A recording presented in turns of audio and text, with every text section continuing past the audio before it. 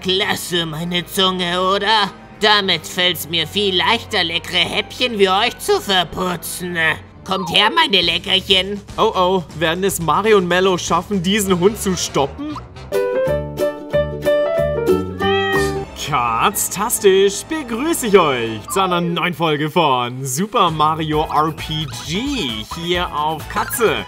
Wir sind gerade im Quaquedukt oder so ähnlich und sind auf dem Weg zu Opa. Also, damit meine ich den Opa von Mallow. Der heißt aktuell einfach nur Opa.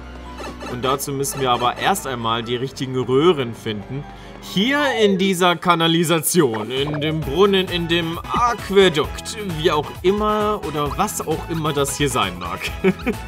Vorsicht, überall Buhus! Doch Mario und sein Team, genauer gesagt Mario und Mallow, das sind die einzigen aktuell im Team, die sind stark genug. Jetzt gibt's ein Blitzgewitter. Und das ist gegenüber den Buhus gar nicht so stark, habe ich so das Gefühl. Wow, was kommt jetzt? Energiebälle. Also, die Gegner besitzen hier Kräfte, die man in keinem anderen Mario-Spiel kennenlernt. Zum Beispiel Energiebälle oder Blitze von Buhus? Seit wann gibt's denn sowas? okay, jetzt noch einmal. Zack und bumm und geschafft. Vierer-Kombo. Ja, das ist das Beste. Oh, Chance auf doppelte Münzen. Verdoppeln oder alles verlieren. Das ist also dieses Spiel hier. Okay, Achtung, Achtung, ganz rechts ist es. Das war nicht sonderlich schwer. Yoshi gefunden. Münzen verdoppelt.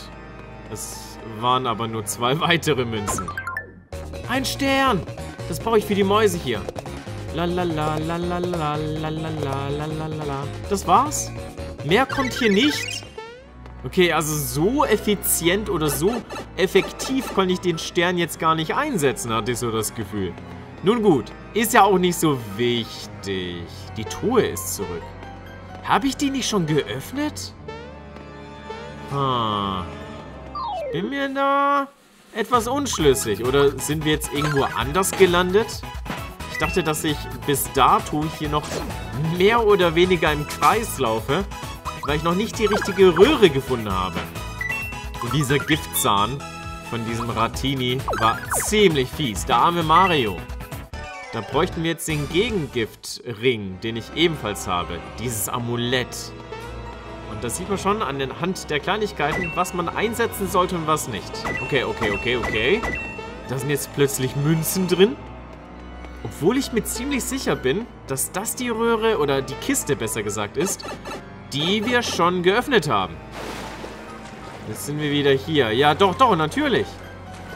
Okay, okay. Also wir laufen oder schwimmen hier buchstäblich aktuell im Kreis. Wenn das die falsche Röhre war, Wisst ihr was?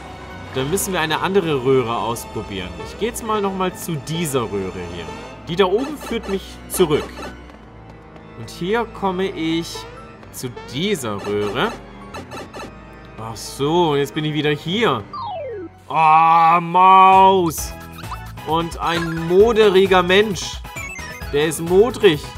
So, was ist mit der Maus passiert? Ist sie abgehauen? So, Moderling. So heißt er. Nicht moderiger. Volle KP, sehr gut. Sowas ist immer brauchbar, wenn die Kraftpunkte wieder aufgefüllt werden. Okay, Kristallwasser erhalten. Und dann äh, setzen wir mal das Blumenset ein. Habt ihr gesehen unten? Ich habe jetzt nicht nur meine Blumenpunkte wieder aufgefüllt, sondern auch erhöht. Denkt also daran, falls ihr das Spiel selbst spielt, die X-Taste zu drücken und zu gucken, ob ihr Blumenkapseln oder Blumensets habt. Setzt sie unbedingt ein, die ist nicht verschwendet. Setzt sie ein, denn das erhöht ähm, langfristig, also konstant, für immer, eure Blumenpunkte, die ihr dann im Kampf einsetzen könnt. Uah! Das war knapp. Knappe Kiste mit den Mäusen hier. Okidoki. Dann geht's jetzt hier durch die Röhre. Übrigens, für alle, die das vielleicht nicht wissen, ich habe es, glaube ich, auch noch nie erzählt, ich spiele dieses Spiel zum ersten Mal. Jetzt mögen manche von euch sagen, hä, Thomas, also das gilt doch jedem oder das ist doch bei jedem so. Jeder spielt das Spiel zum ersten Mal. Das kam ja erst jetzt für die Switch raus. Aber die, die schon etwas älter sind, wissen, das ist ein Remake. Ein Spiel, das optisch, grafisch aufgehübscht wurde. Das gab es schon mal auf dem Super Nintendo, allerdings nur in Japan und Nordamerika. Kam also nie in Deutschland raus. Deswegen, ähm, ja, habe ich es auch nie gespielt. Tatsächlich nie. Ich hole das jetzt sozusagen nach durch die Switch-Version. Und natürlich kann es sein, für alle, die das Spiel besser kennen als ich, dass ich so einiges verpasst habe. Da wurde ich auch schon in den Kommentaren von euch darauf hingewiesen. Vielen Dank an dieser Stelle dafür. Macht das unbedingt weiter. Weil das ist ja kein Spoiler. Ihr habt mich nur darauf hingewiesen, dass ich hier und da was verpasst habe. Und auch, dass ich zum Beispiel gewisse Sachen gar nicht mehr nachholen kann, weil ich die einmal und somit auch für immer verpasst habe. ja, das sind zwar keine wichtigen Sachen, die relevant sind für diese Geschichte, die hier erzählt wird, aber das wollte ich mal gesagt haben. Also ich gebe mein Bestes, sehr gründlich zu sein bei der Erkundung, aber es mag mir natürlich nicht immer alles so gelingen. Okay, geschafft. Den Moderling haben wir ebenfalls besiegt. Und dann geht es jetzt mal hier durch die Röhre. Die haben wir, glaube ich, noch gar nicht genommen. Ja, die war richtig. So kommen wir zu diesem grünen Schalter. Mal sehen, was jetzt passiert. Du hörst sehr viel Wasser ablaufen. Mhm. Ich weiß auch schon, was das zu bedeuten hat. Erst einmal besiegen wir diese lustige Truppe und beginnen mit dem Schatten. Ja, der wäre schon mal Geschichte. Und Mario hat jetzt mehr Glück. Dieser Glückspilz. Abwehr erhöht. Und bitte greif... Was ist das? Er singt ein Lied für uns. Oh, Mello ist jetzt nachdenklich. Och, Menno, ich habe meine Hausaufgaben nicht gemacht. Das fällt mir erst jetzt ein. erst immer Hausaufgaben machen und dann hat man Zeit für Spiele, für, fürs Rausgehen und so weiter und so fort. Wisst ihr auch alle, liebe Katzenfreunde, nicht wahr? Wenn man von der Schule kommt, ja, erstmal was essen und dann erstmal Hausaufgaben erledigen. Erstmal die Hausis machen, also an alle, die noch zur Schule gehen. Erst Hausaufgaben machen. Mein Tipp an euch, muss jeder für sich wissen. Ich habe das so gemacht. Erst Hausaufgaben machen. Und dann, wenn das erledigt ist, könnt ihr in Ruhe Nintendo Switch spielen. Ihr könnt Videos angucken. Vor allem aber, und noch wichtiger, ihr könnt rausgehen. Macht das unbedingt. Nach draußen gehen, Fahrrad fahren, Fußball spielen, ähm, reiten, tanzen, was auch immer. Weil ihr dann gar nicht mehr im Kopf haben müsst, ach Schreck, ich muss ja noch Hausaufgaben machen. Und das begleitet euch sonst den ganzen Tag. Deswegen nach der Schule Hausaufgaben machen und dann habt ihr Zeit für Freizeit. Super wichtig. Okay, aber jetzt wieder zurück ins Spiel. Schatten und Buru. Ihr sollt Geschichte sein. Euch werde ich zusammen mit Mellow besiegen, wenn es mir denn gelingt. Oh, fiese Sache. Ich glaube, so langsam sollte ich mal die Toad-Hilfe zunutze machen. Denn wir haben 100%. Jody, wir brauchen deine Unterstützung mit einem gelben Pilz, was auch immer der bringt, ein Pep-Pilz. Der peppt Mario auf. Erhöht sogar den Angriff. Das ist ziemlich praktisch. Vielleicht reicht das aus, um den starken Feind zu besiegen. So, sehr gut geschützt. Ah! Boah, das war ein fieser und starker Angriff. So. Ich dachte, mein Angriff wurde erhöht. Also stark war das jetzt nicht. Nein! Ich habe mich verklickt. Ich wollte diesen KP-Ring auf Mallow einsetzen, hab's stattdessen auf Mario eingesetzt, der bereits volle Kraftpunkte hat. Also, kurz gesagt, das war leider, leider unnötig. So. Jetzt aber besiegt. Beide. Wunderbar. Ich muss Mallow jetzt auf jeden Fall besiegen. Äh, besiegen, entschuldigt. Ich meine, ihn äh, ähm, auffüllen. Seine Kraftpunkte wieder auffüllen. So. Speichern. Hier am Quarquedukt. Und dann geht es jetzt durch die... Nein! Durch die nächste Röhre wollte ich sagen, ich bin abgestürzt. Was für ein Fauxpas. Tja, Teppichtörtchen. Sowas passiert. Alles gut. Wir wissen ja, wo wir hin müssen. Durch diese untere Röhre. Und schon sind wir wieder hier. Nein, nicht nochmal speichern. Jetzt laufen wir hier rüber und wieder durch die Röhre. Wow, wer bist du denn? Ein Hund. Hallo, Hundi. Schau nur, das, das, das muss dieses Bellum sein. Komisches Ding. Und was für eine lange Zunge das hat. Hm. Hey, du da. Ah? Oh, oh, oh. Klasse, meine Zunge, oder? Damit fällt es mir viel leichter, leckere Häppchen wie euch zu verputzen. Wow.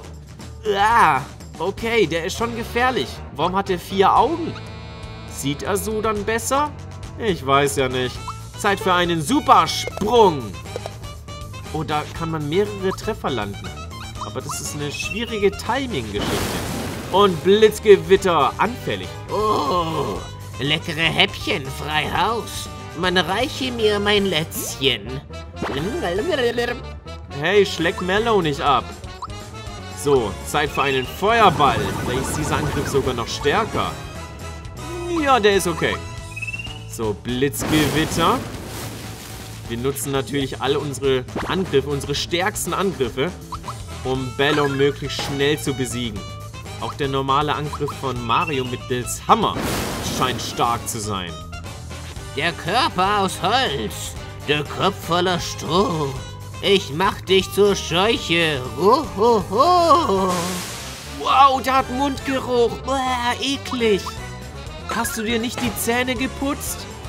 Morgens und abends. Mindestens. Widerlich. Boah. Weiß doch jeder, dass man sich die Zähne putzen soll. Das macht jeder, nur du nicht, was? Ich halt's nicht mehr aus. Dieser Hunger. Dieser schreckliche Hunger. Was? hey, du hast einfach Mellow aufgegessen. Lass ihn in Ruhe. Lass meinen Freund raus. Noch wurde er nicht verdaut. Wir können ihn noch retten. Zeit für einen Sprung. Oh, der war gut. Ich habe bewusst den Sprung gewählt, weil ich den anhand der Blütenpunkte nochmal nutzen kann.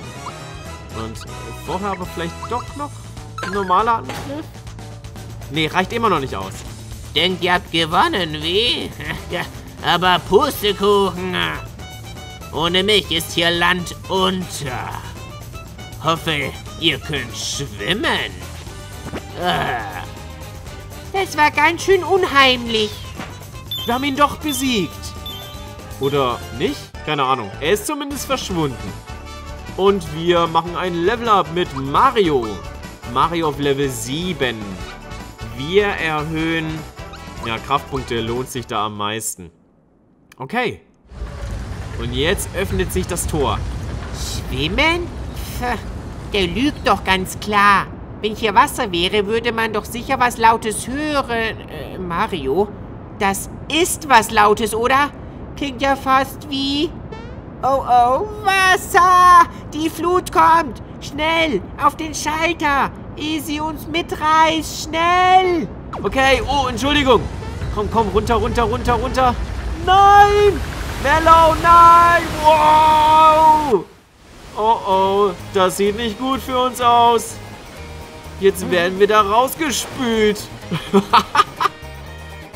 Woher kommst du denn jetzt? Die, dies ist der Fluss Krösus. Hoffe, du bist bereit für eine Wasserfahrt. Eine Anleitung gefällig? Äh, ja. Deine Fahrt startet oben bei den Wasserfällen. Bewege dich mit Hilfe von L nach links oder rechts, um Münzen zu sammeln. Okay, ganz einfach also. Drücke B, um gegen die Strömung anzuschwimmen. Ah ja, Auf dem Weg wirst du Höhlen vorfinden, in die du hineinschlüpfen kannst. Was darin vorgeht? Keiner weiß es. Wünsche frohes Flussrutschen. Danke, Toadie, woher auch immer du gekommen bist. Okay, das ist lustig. Stellt euch mal vor, in kniffligen Situationen im Leben wird das Leben kurz pausiert und irgendjemand kommt zu euch, wer auch immer das sein mag, und erklärt euch irgendetwas. Das wäre irgendwie auch echt praktisch. So, lasst uns durch diese Höhle gehen. Mal gucken, wo wir rauskommen. Oh wow, wie cool. Das ist cool. Okay, was hier nicht alles abgeht. So viele unterschiedliche Gegner, die wir da sehen konnten. Das ist wie so ein kleines Schauspiel, das wir beobachten dürfen. Und jetzt auf das Trampolin. Clowns Trampolin. Und dann geht's weiter. Ich will mal nach links. Ich hoffe, das ist die richtige Entscheidung. Weil da ist zumindest eine Froschmünze, ein sogenannter Froschgroschen. Aber vielleicht zeigt mir das auch eher einen Weg, den ich äh, nicht nehmen sollte. Ich werde da auf die falsche Fährte gelockt. der Paracupa gegen diesen Banditen. Boah, der Bandit, der ist lustig. Was macht der? Hey, der Paracupa, der hat eine Blume. Was machen die denn da? Jetzt hat der Cheap Cheap die Blume. Eine Tomate mit einer Gabel. Bei dem geht's heute Fisch. Und weiter geht's hier mit den zwei. Oh, danke. Habt ihr das gesehen? Der Paracupa als auch der Bandit. Beide haben sich aufgeregt, weil die Blume im Wasser gelandet ist. Genauer gesagt, auf Mario. Ich habe also jetzt in dem Fall die Blume bekommen. Was für ein schöner und toller Humor. Wie lustig das Spiel ist. So, gibt es hier links auch was? Ne, ich dachte, da wäre so eine versteckte Höhle. Sehr verführerisch. Und zum Beispiel links gibt es auch eine Höhle. Die werde ich aber nie mehr erreichen können, weil ich mich jetzt eben für diesen Pfad entschieden habe. Ich glaube, da gibt es noch viel mehr zu entdecken und man müsste diesen Wasserfall ein erneutes, ein weiteres Mal hinunterschwimmen. Oder sich einfach, ja, treiben lassen, bis man dann ganz unten ist. So, komm, komm. Der Froschgroschen gehört mir. Ich wusste gar nicht, dass Mario so stark ist, dass er gegen die Strömung schwimmen kann. Das ist schon sehr beachtlich. Und jetzt wieder ein lustiges Schauspiel für uns. Warum springt er denn auf dem Steinblock herum? Hey, du Bandit, sei vorsichtig. Ja, selbst schuld. Und jetzt? der Arme, der tut mir irgendwie leid. Der wird wahrscheinlich eher böse sein, also uns gegenüber. Aber hier in dem Fall, das hätte nicht sein müssen. Die fiesen Steinblöcke. Wo bin ich denn jetzt gelandet? Da bin ich wieder. Nächste Flussfahrtphase. Das Fässerhüpfen. Anleitung gefällig? Ja, besser wär's. Okay. Im Fässerhüpfen musst du den richtigen Moment zum Springen abpassen und dir unterwegs reichlich Münzen schnappen. Springe von einem Fass aufs nächste, ehe die beiden aufeinander prallen. Okay, das ist ne wow, nicht schwer eigentlich. Verpasst du deine Chance, wechselt dein Fass stattdessen die Spur. Bereit? Dann kann's ja losgehen. Fragt er mich nicht, ob ich das nochmal hören möchte? Ach, bevor ich's vergesse. Über Fische sollst du drüber springen, denn sonst verlierst du Münzen. Sonst krieg ich die Option, dass ich mir Anleitungen mehrmals anhören kann. Wow, wow, Moment. Ich muss ja erstmal hier reinkommen und das ganze Spielprinzip verstehen. Na, das ist ja eine verrückte Sache. Wow, Fische. Okay, okay. Wow. Okay, das war Glück im Unglück. So war das nicht geplant, aber hat mir zumindest mal ein, zwei Münzen beschert. Hier hätte ich wechseln müssen.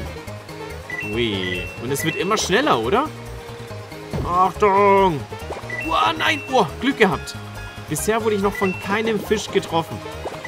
Boah, schon wieder. Nein! Boah, das war ja fies. Das war richtig fies platziert. So, okay. Nein, nein, nein, da folgt mir einer. Ha. Da haben wir ihn wohl veräppelt. Und jetzt auf die andere Seite. Okay, okay, okay. Nein, hui. Nein, nein. Oh Mann, aber der kommt so schnell. Das habe ich ja kaum kommen sehen. Aber ich will mich nicht beschweren. Ich muss einfach besser spielen. So einfach ist das manchmal. Uah. Sind das Cheap Cheeps? Die sehen gar nicht aus wie Cheap Cheeps. Oh, weia. Ich glaube, ich war nicht so gut, oder? Oh, Entschuldigung. War das eine Gaudi, oder? Mal schauen, wie viele Münzen du so abgestaubt hast. Oh, oh, 43 Stück? Willst du vielleicht die Münzen, die du auf dem Fluss gesammelt hast, gegen Froschgroschen tauschen? Beim ersten Tausch gebe ich dir einen Froschgroschen für schlappe 60 Münzen. Super Sonderangebot. Froschgroschen sind besondere grüne Münzen. Fragt mal am Quappenquell danach. Die erklären euch die Sache genauer. Mal sehen, wie viele Münzen du dir schon schnappen konntest. Ah, 43 Stück? Leider hast du nicht genug Münzen, um sie gegen irgendwas zu tauschen. Ich behalte sie für dich ein, ja? Komm jederzeit wieder und wage eine wilde Wasserfahrt. Ach so, hier hätte ich etwas. Das habe ich gefunden. Nimm es nur. Hoffentlich bringt's dir Glück. Cooper-Panzer. Okay, dankeschön. Das könnte hilfreich sein. Und was ist das für ein Trampolin? Mit dieser Sprungfeder kannst du jederzeit erneut dein Flussfahrglück versuchen. 30 Münzen kostet der Spaß. Der Münzenrekord liegt bei 43 Stück. Vergiss nicht, dass ich momentan auch einen Münzenvorrat von 43 Stück für dich bereithalte oder einbehalte. Also eine weitere Fahrt? Nö. Alles klar, vielleicht ein andermal, ja? Ja, wir müssen das Ganze nicht direkt noch ein weiteres Mal machen, aber lustig ist es allemal. Und 30 Münzen geht bei über 400 Münzen bei mir gerade klar. So, Quappenquell. Wir haben es geschafft. Hier treffen wir irgendwo den Opa von Mellow. Wo soll er denn sein? Opa Mellow! Opa Mellow, wo bist du? Hier ist ein Sta Oh, was passiert jetzt? Uh, hallo. Hallöchen, wie kann ich helfen? Mallow, du bist. Alle wissen schon, was für tolle Taten du zusammen mit Mario vollbracht hast. Sogar Bellum habt ihr besiegt. Echt? Das habt ihr schon gehört? Du musst wissen, Mario, die Strömung selbst trägt Neues aus der ganzen Welt hierher zum Quappenquell. Und genau darum weiß Opa alles. Und auch immer das Allerneueste. Man kann ihn immer fragen, was so anliegt. Wow, hey, dann bist du wirklich Mario? Super Mario? Freunde, kommt mal und schaut, wer da ist. Hey, cool, hey, cool. Er ist es, ganz in echt. Schaut aber überhaupt nicht so aus, wie ich ihn mir immer so vorgestellt hatte. Es heißt ja, er könnte höher springen als jeder Frosch. Ob das wohl stimmt? Ja, ich zeig's euch mal, wenn ihr möchtet. Zack. Wow, wie cool. Schau an, schau an. Mein kleiner Hüpfer ist wieder da. Was hast du zu berichten, Merlau? Hey, wer ist das? Opa! Hallo! Schon gehört? Ich habe Mario getroffen und Mario hat mir geholfen. Selbstverständlich hörte ich das bereits. Und Mellow, das Regenwetter vorhin, das war's doch gewiss du, oder? Nee, ouch. Nicht wackeln. Halt mich ruhig und stabil, ja? Mann, schwerelos und anmutig. Wie besprochen. Okay, ich komm jetzt. Ein Operfrosch. Hallo. Sei willkommen. Du bist also Mario. Ich bin der große weise Quack. Und du bist hier, um am Fundus meines Wissens teilzuhaben. Habe ich nicht recht? Ich habe dich bereits erwartet. Ja, das Alter weiß oft weisen Rat. Das ist wahr. Hm. Ah, bisschen runter. Nicht so arg. Doch wo sind nur meine Manieren? Lass uns nicht an der Türschwelle sprechen. Komm, sei unser Gast. Und ab. Rückwärtsgang, presto. Ja, gut. Nicht so schnell. Oh, okay. Quäppchen, seid nicht müßig. Bilde deine Brücke für Mario, ja? Ja, machen wir.